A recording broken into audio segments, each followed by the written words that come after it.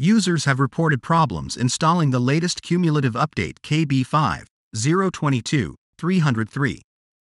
This update contains the January 2023 patch Tuesday security updates for vulnerabilities discovered in previous months. So, in this video, we'll teach you several solutions so you can repair your damaged Windows 11 update database. Click on your Start button and type PowerShell.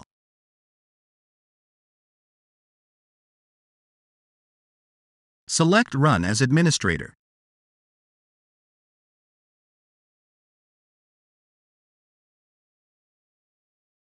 Now type the following command.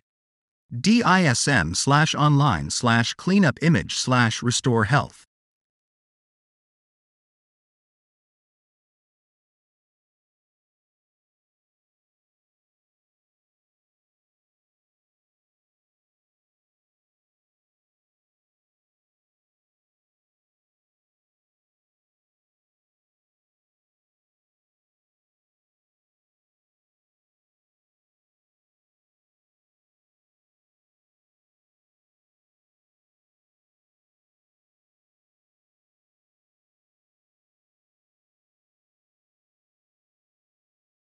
First, open your Start menu.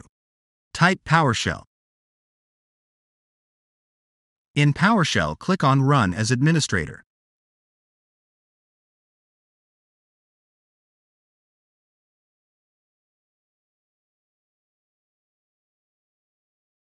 Now type the command sfc slash scan now.